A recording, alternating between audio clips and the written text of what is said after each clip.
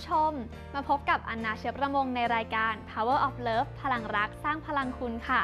รายการที่จะมาบอกคุณผู้ชมว่า ความรักยังมีอยู่บนโลกใบนี้ และมีพลังที่จะสร้างสารรค์สิ่งดีๆให้กับโลกใบนี้อย่างมากมายค่ะ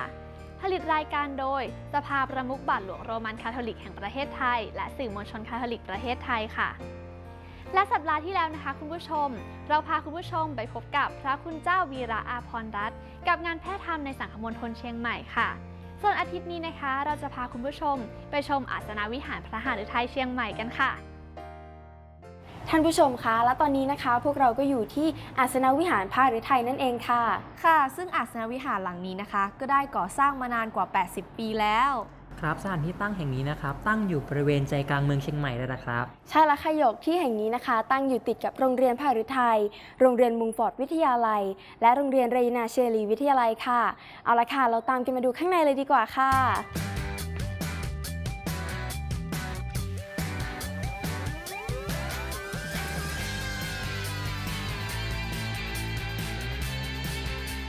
และการเขียนที่เห็นนี้นะก็เป็นรูปแบบที่ใหญ่ที่สุดในประเทศไทย แล้วก็ภาษาละตินที่เห็นข้างล่างเนี่ยก็หมายถึงทรงรักเราถึงเพียงนี้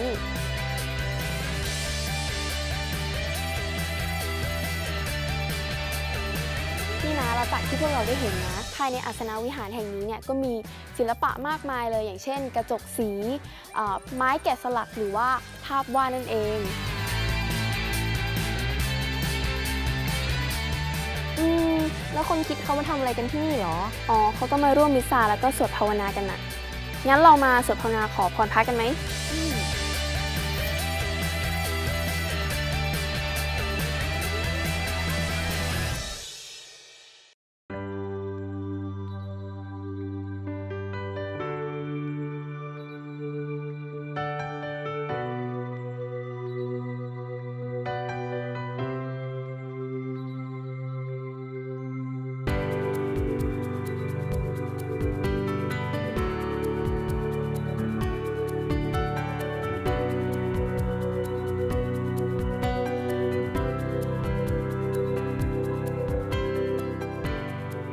ก็เราเพิ่งฉลอง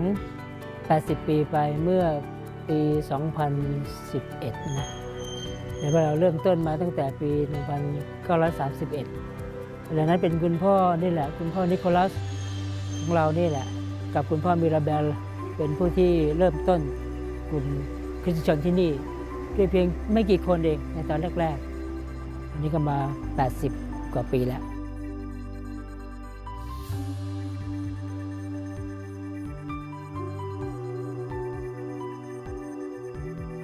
ตัววัดเนี่ยเราตัววัดหลังนี้เป็นหลังที่สามแล้ว หลังที่คุณพ่อนิโคลัสสร้างขึ้นเนี่ยเป็นหลังแรก หลังแรกนั้นก็อยู่ได้มาสิบกว่าปีมั้งแล้วพอมาถึงปี 1965 ก็เป็นวัดหลังที่สองแล้วหลังที่สองเป็นวัดหลังใหญ่ หลังใหญ่กว่านี้หลังหลังใหญ่กว่าหลังแรก แล้วก็หลังนี้มาเป็นหลังที่มาปฏิรูปใหม่ ในช่วงปี 1999 เออหลังที่สองนี่เป็นคนละพื้นที่กับวัดหลังแรกนะ วัดหลังแรกดูเหมือนจะอยู่แถวๆนี่แหละ แล้วก็นี่เป็นวัดหลังที่สองหลังที่สามก็อยู่ในตำแหน่งเดียวกัน เพราะว่าปฏิรูปขึ้นมาด้วยโครงสร้างเดิม มีในสมัยที่คุณพ่อทัศสินเป็นเจ้าอาวาสอยู่ที่นี่เขาใช้สถาปนิกมาจากอิตาลีนั้นโครงสร้างอะไรภายในทั้งหลายเนี่ยจะเป็นแบบอิตาเลียน โมเดิร์นหน่อย มีเป็นสถาปัตย์แบบยุโรปเกือบจะล้วนเลย แต่มีเพียงภาพบางภาพที่อาจจะแสดงถึงวัฒนธรรมท้องถิ่น เช่น ภาพชนเผ่าที่อยู่หน้าประตู เหนือประตูใหญ่ด้านด้านหน้าเนี่ยนะที่วาดเป็นรูปชนเผ่าต่างๆอยู่ มีเท่านั้นเองที่มองเห็นว่าแสดงออกถึงถึงท้องถิ่น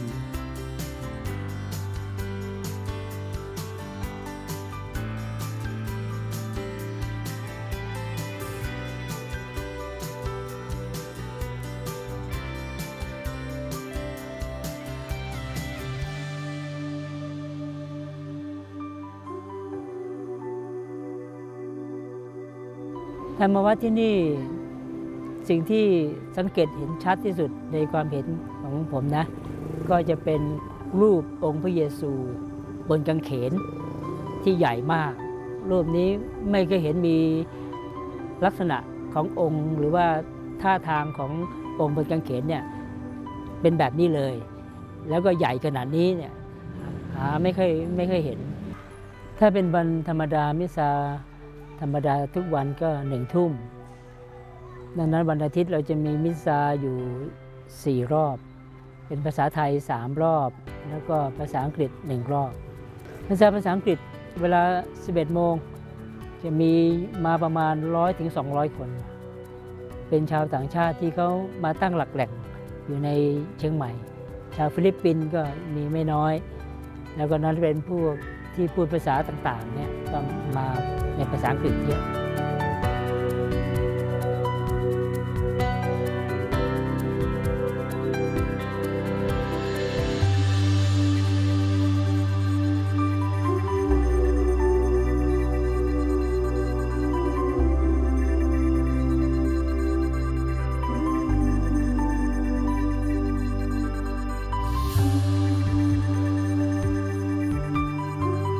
กลุ่มกิจกรรมมีเยอะเหมือนกันนะ ที่นี่มีอยู่8ปดเก้ากลุ่ม หลักๆที่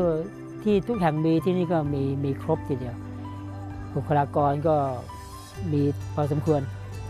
ที่จริงเขาก็เข้มแข็งกันทุกกลุ่มนะเพราะเขาจะมีประชุมกันเป็นประจำทุกกลุ่มเลยเป็นตามกำหนดที่เขามีอยู่ อย่างวันนี้เขาก็จะมีประชุมกลุ่มพระเมตตา ทุกอาทิตย์ก็จะมีพลมารีเซอร่าก็ประชุมเดือนละสองครั้งก็จะมีประชุมกันจะว่า เข้มแข็งทุกกลุ่ม โครงการพิเศษ ในด้านสถานที่ทั้งหลายเหล่านี้ก็ไม่มีแล้วเขามีครบถ้วนตามสมควรมีแต่บุรณะให้มันใช้งานได้ หรือว่าอยู่ในสภาพดี แต่โครงการที่เกี่ยวข้องกับกิจกรรมสัมพันธ์กับผู้คนกับสัตว์บุรุษเนี่ยอันนี้ก็พยายามหาโครงการในสภาพิบาล ปีนี้มีดีหน่อยมันมีโครงการที่พระคุณเจ้าวีระได้ประกาศให้ใช้ทั้งสังฆมณฑลเป็นโครงการที่ให้เจ้าอาวาสแล้วก็พระสงฆ์ประจำวัดเนี่ยเชิญพระคัมภีร์ไปเยี่ยมสัตว์บุรุษตามบ้าน อาทิตย์ละบ้านหนึ่งบ้านหนึ่งอย่างนี้ก็ไปเป็นโอกาสที่จะได้พบปะพูดคุยรู้จักชาวบ้านด้วย แล้วก็ไม่ใช่มีเฉพาะพวกเราไปนะแล้วก็เอาเด็กไปบ้าง เอา สัตว์บุรุษเพื่อนบ้านไปร่วมด้วย เราทำได้สม่ำเสมอก็เป็นโครงการที่ดีนะเป็นโครงการที่ควรจะจัดให้มันมีขึ้นมากขึ้น ตอนนี้เราสำหรับปีศักดิ์สิทธิ์เนี่ยสังฆมณฑลกำหนดให้ช่วงระยะเวลาที่พระธาตุสองพระบุญมาอยู่ในเชียงใหม่ เป็นโอกาสเวลาเฉพาะสำหรับการกราบพระคุณแก่หลุนถ้ามาอาจจะต้องมาในเวลาที่เหมาะ ถ้าเป็นกลางวันเนี่ยวัดใหญ่เราก็ปิดอยู่ นอกจากมาขอพิเศษมาเป็นกลุ่มเป็นก้อนอย่างเงี้ย แต่ถ้านอกนั้นถ้ามาเองมาส่วนตัวเข้าวัดใหญ่ไม่ได้ ก็ไปที่วัดน้อย วัดน้อยของเราก็เป็นวัดที่สวยแล้วก็สงบดี วัดน้อยเปิดตลอด วัดน้อยจะเปิดตลอด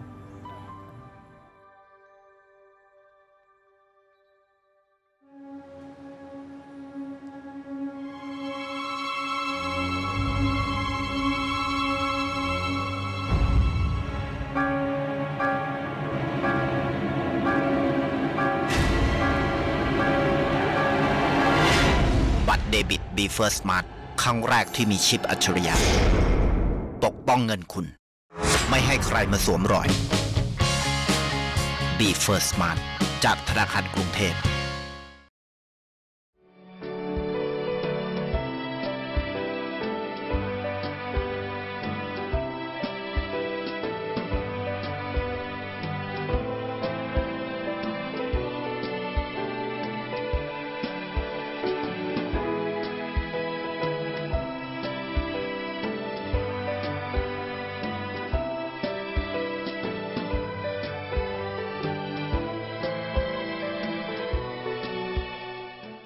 tell me what can you offer this office? My name is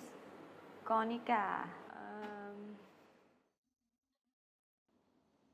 My name is Rinda. I graduated from St. Teresa International College with a degree of Business Administration. During my college year, St. Teresa had given me an exceptional experiences with all the extracurricular activities, career-oriented and globally competitive. Thank you. เพราะภาษามาพร้อมกับโอกาสวิทยาลัยนานาชาติเซนต์เทเรซา เพราะทุกคนมีหน้าที่ จะดีแค่ไหน ถ้ารู้ว่าสิ่งที่เราทำทุกวันมีความหมาย เราไม่เคยเหนื่อย เราไม่เคยท้อ เราทุ่มเททุกอย่างเพื่อหน้าที่ของเรา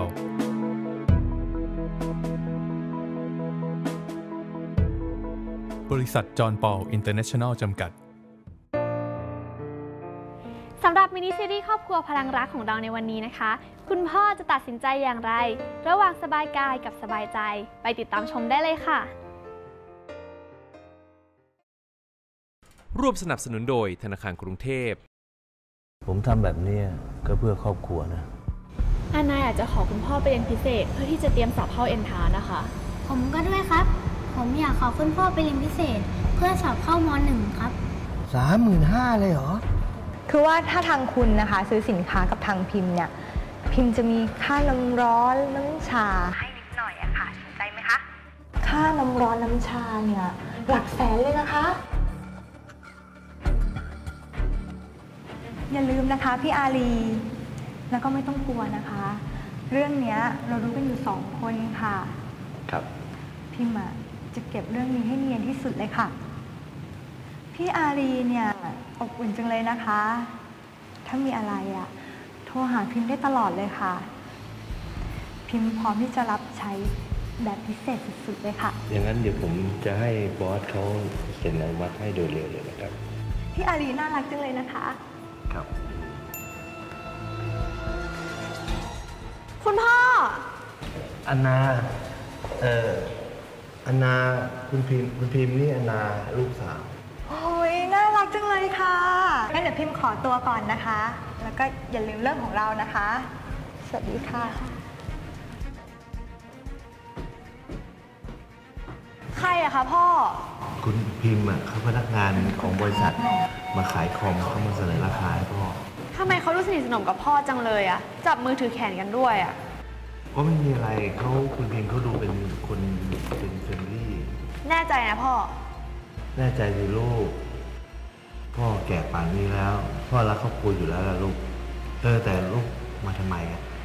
อ๋อพอดีหนูเรียนพิเศษเสร็จแล้วมันเลิกช้าค่ะ แม่ก็เลยบอกว่าให้มากับพ่อจะได้กลับพร้อมกัน อืมโอเค อย่างนั้นลูกรอพ่อแป๊บนึงได้ไหมเดี๋ยวพ่อไปเก็บของก่อน ได้ค่ะเออเดี๋ยวพ่อมีอะไรจะถามลูกสักนิดนึงอะมีอะไรอะคะพ่อ คือว่าถ้าหากพ่อทำอะไรไม่ดีไปเนี่ย ลูกจะรักพ่อเหมือนเดิมหรือเปล่า ก็ต้องรักสิคะพ่อ ก็พ่อเป็นพ่อของอันนานี่คะ แล้วพ่อถามทำไมอะก็ไม่มีอะไรหรอกลูก เดี๋ยวพ่อไปเก็บของก่อนนะ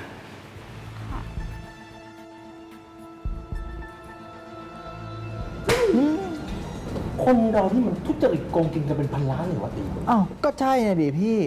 เงินมหาลัยหายไปเป็นล้านๆเนี่ย จนเรื่องมันแดงขึ้นมาเนี่ยถึงได้รู้กันต้องจับ ติดคุกให้หมดเลยนะเนี่ยทำเป็นกวนการเลยอะ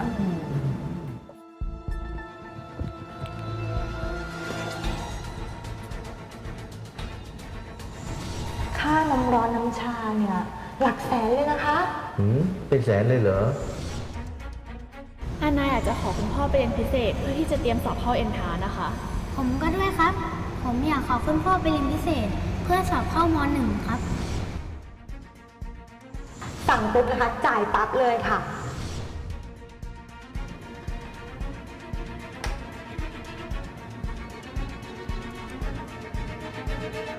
พี่อารีข่าวดีอนุมัติแล้วใช่ไหมคะงั้นเดี๋ยวพิมพ์ออกไปโอนเงินให้เลยนะคะ คือผมไม่ต้องเกรงใจค่ะ ยอดเงินทั้งหมดเนี่ยหนึ่งแสนบาทค่ะ คือผมอยากจะบอกคุณพิมพ์ว่า ผมรับเงินใต้โต๊ะไม่ได้หรอกครับ ผมว่าทำให้มันถูกต้องดีกว่า เอ่อแล้วแล้วที่เราตกลงกันไว้ล่ะคะผมจะให้เจ้าอื่นน่ะมาเสนอราคาเพื่อเป็นทางเลือก งั้นก็แล้วแต่ค่ะ แล้วถ้าผลออกมายังไง เดี๋ยวผมจะติดต่อกลับไปแล้วนะครับโอเคค่ะโง่เอ้ย โล่งอกสักที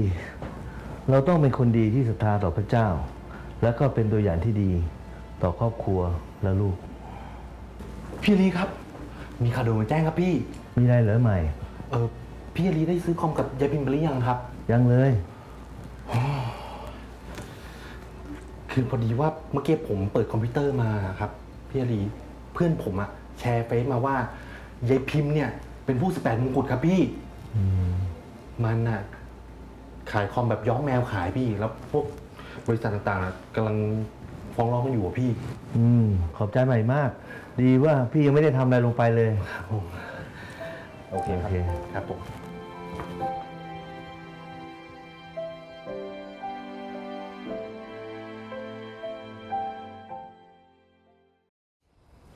สำหรับในเรื่องนี้คุณอารีได้ถูกทดลองอย่างหนัก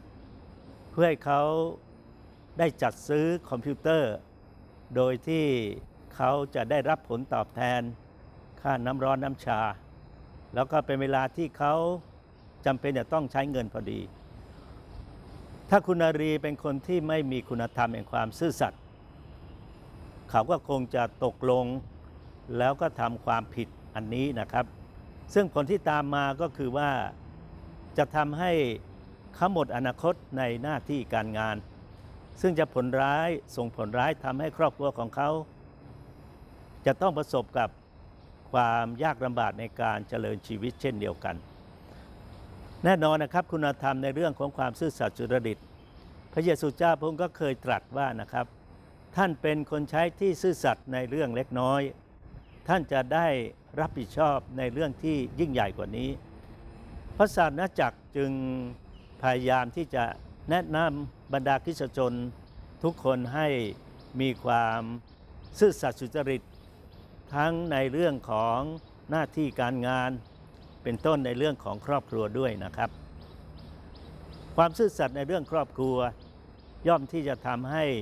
ครอบครัวมีความมั่นคง มีความรักต่อกัน และทำให้สมาชิกทุกคนในครอบครัว มีความสุขในชีวิตเช่นเดียวกันครับ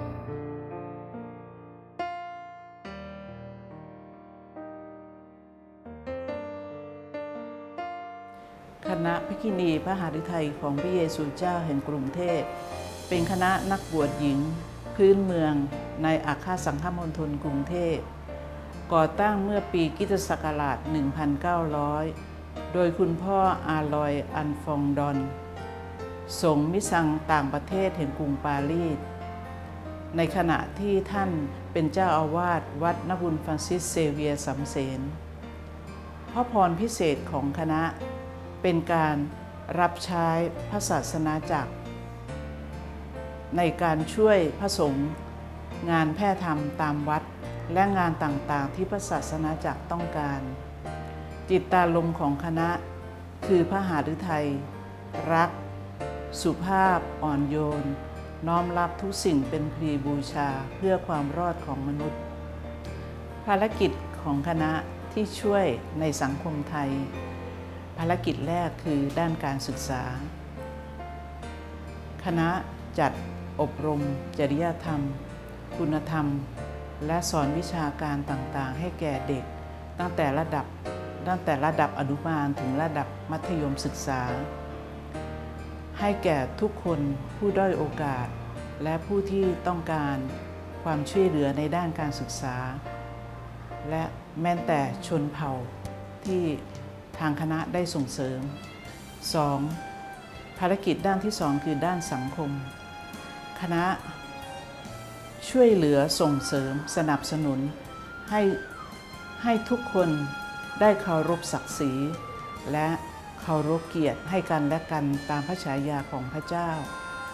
เรามีบ้านที่สำหรับช่วยผู้ที่เสี่ยงจากยาเสพติด หรือว่าสำหรับผู้ที่เด็กๆ ที่ไม่มีโอกาสในด้านการศึกษาที่ยากจน เราก็ได้มีสถานที่หลายแห่งเพื่อช่วยเด็กๆเหล่านี้ 3. ในด้านการอภิบาลและประกาศข่าวดี เราได้สอนคำสอนแก่เยาวชนเด็ก และก็คนต่างศาสนาที่ต้องการที่อยากจะรู้จักพระเจ้า งานนี้เราก็ทำตามหน้าที่พันธกิจที่เราได้มอบหมายให้ที่เรา ที่คณะได้มอบหมายให้สมาชิกแต่ละท่าน ประการที่ 4 งานด้านบริการ สมาชิกของคณะก็ได้รับใช้บริการ ชุมชนวัด และชุมชนต่างๆ ด้วยความรักสุภาพอ่อนโยน และน้อมรับทุกสิ่งเป็นพีบูชา ในด้านศาสนาพิธีกรรม ในด้านบริการ ในด้านโภชนาการ และในกิจการต่างๆ ที่พระศาสนาจากท้องถิ่นต้องการ คณะพระหฤทัยของพระเยซูเจ้าได้เกิดมาในสังคมไทย และสมาชิกทุกคนเป็นคนไทย เราทุกคนปรารถนาให้ทุกพระอาณาจักรของพระเจ้ามาถึงประชาชนชาวไทยทุกคน ขอบคุณค่ะและคำถามสำหรับอาทิตย์นี้นะคะ มีอยู่ว่า อาสนาวิหารพระหฤทัยหลังปัจจุบันเป็นหลังที่เท่าไหร่ ส่งคำตอบมาได้ที่ 122ทับ11 ซอยนนทรี 14 ถนนนนทรีย์ยานนาวา กรุงเทพ รหัสไปรษณีย์ 10120 หรือที่อีเมล poweroflove at thaicatholicmedia.com ของรางวัลมากมาย รอท่านผู้ชมอยู่ค่ะ พบกันใหม่อาทิตย์หน้านะคะในรายการ Power of Love พลังรักสร้างพลังคุณ เวลา 19นาฬิกาถึง 19นาฬิกา30 นาที ทางช่อง TNN 24 ค่ะ สำหรับวันนี้ สวัสดีค่ะ กว่า 400 ปี ข่าวดีที่พระเสกสรร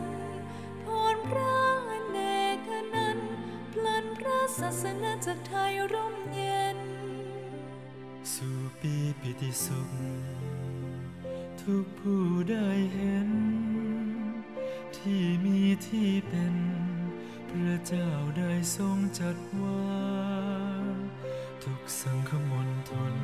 คริสตชนมีเคยรัก แสงทองส่องทางสว่างสวัยใจปรีดา เราจึงพร้อมใจขอบคุณพระเจ้ากันในวัน ศักดิ์สิทธิ์พระศาสนาจากไทยสรรเสริญพระคุณพระการุณที่ทรงมอบให้ทุกทุกปีที่ผ่านไป พระทรงชัยทรงดู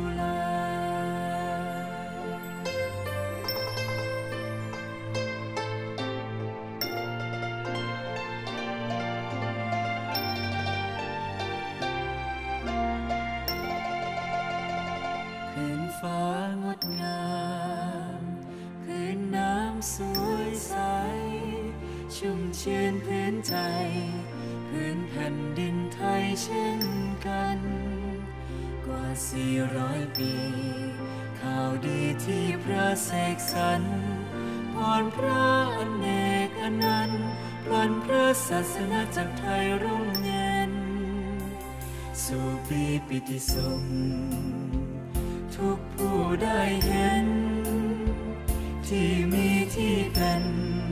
ระเจ้าได้ทรงจัดว่าทุกสังคมนทน คริสตชนมีเคยรักแสงทองส่องทางสว่างสวัยใจปรีดา เราจึงพร้อมใจขอบคุณพระเจ้ากันในวันนี้ปีศักดิ์สิทธิ์พระศาสนาจัก